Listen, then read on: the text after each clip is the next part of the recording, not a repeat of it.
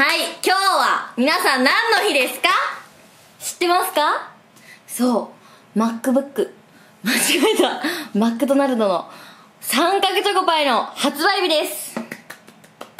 しかも味がクッキークリームというねもう絶対美味しいでしょうみたいなもう感じの味だよね。あの私ツイッターで引用リツイートしてもう絶対食べますって昨日宣言したんだけどもう早速今日ね買ってきてもう今から食べたいと思います。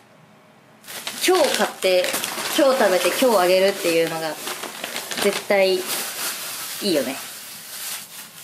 トミーとかそういうの早いからね。いっつもトミーは早い。トミーはいっつもそう。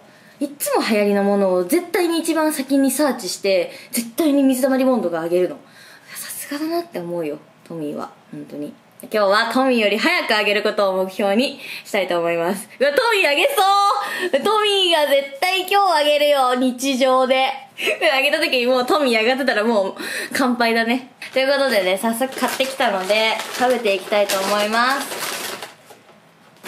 ちょっとね待って待って。いくよ。せーの。じゃん。かわいい。なんかえ富士山みたいな。富士山の横版みたいな感じじゃない？砂浜みたいな。なんか意外な意外なパッケージなんだけど。私もっとなんかなんか茶色みたいな感じかと思ったら結構なんかサマーな感じですね。あのさ三角チョコパイいいんだけどさもう最初から悪口みたいな感じになっちゃって申し訳ないんだけど熱いよね。こう食べた時に中のあのとろけてる部分がもう尋常じゃないぐらい熱くてうわー美味しいふんって時あーってなるよね。えでは早速食べていきたいと思います。いただきまーす。本当はね本当はねっていうか実はねこっちの味も買ってあるんですよ。あこっちはねほら私の思った通りのパッケージだわ。こっちと対照的にするためにこういう色にしたんだろうねきっと。えー、マジ楽しみ。ちょっと食べてみよう。早速。ちょっとボロボロこぼれそうだからティッシュを。前回のも私が一人で食べてるさあれだけど別に私そんななんか家庭うまくいってないとかじゃないからね。イエイイエイイエイイエイ。イエイイエイ。見た目のパイの部分はそんなに今までと大差ないですね。あこんな感じ。いただきます。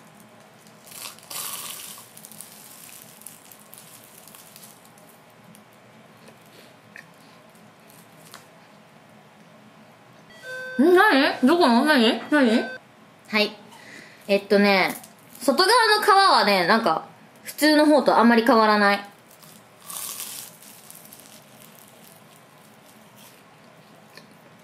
来た来た来た来た来た来た来た来た。よ来たよ。出てきた。うわうわうわうわうわうわ。うわおいしい。ごめんちょっと汚いね。おいしい。オレオがゴリゴリ結構入ってる感じでちゃんとオレオのねクッキーがある。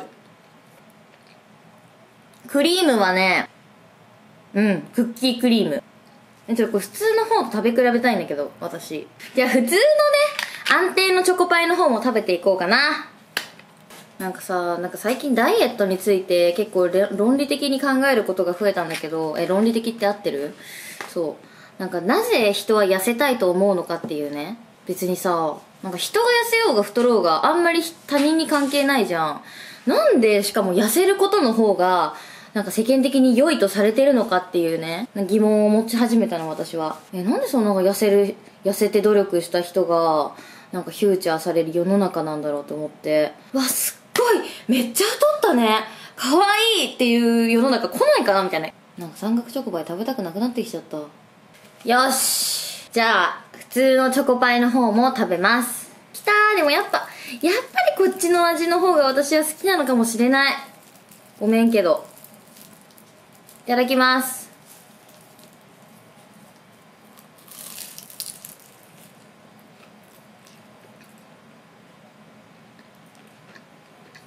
うん。こっちのチョコパイの方がパイ生地の方になんか若干の塩っ気みたいなのがあるのよ。えもう一回クッキークリーム食べよう。どっちも美味しい。どっちもめっちゃ同じぐらい美味しい。私はなんかでも甘って感じるのはクッキークリームの方が甘いって感じがするかもね。中のクリームも結構甘いって感じだからホワイトチョコレートみたいなね。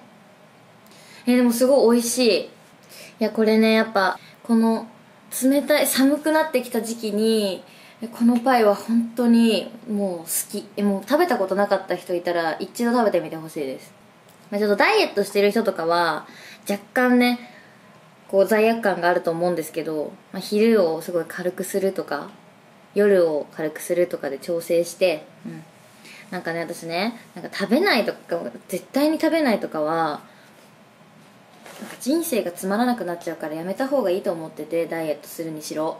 だってストレスが超たまるんだもん。だからなんか食べない絶対食べないみたいなのは私は無理にやんなくていいと思う。ちょっとポチャっとしてるぐらいが女の子なんてもう魅力的でしょ。そういう世の中作っていきましょう。みんなで。でもやっぱ痩せたい気持ちはある。私。もうねできれば何の努力もせずにおーってなってほしい。体が。特にお腹とかね。誰かスパルタしてくんないかな。なんかバシバシ。ビシビシ。ということで、えっと三角チョコパイね。ちょっと残りちょっと後でまた食べたいと思います。今全部食べきれないのでお腹がいっぱいで。いや美味しかった。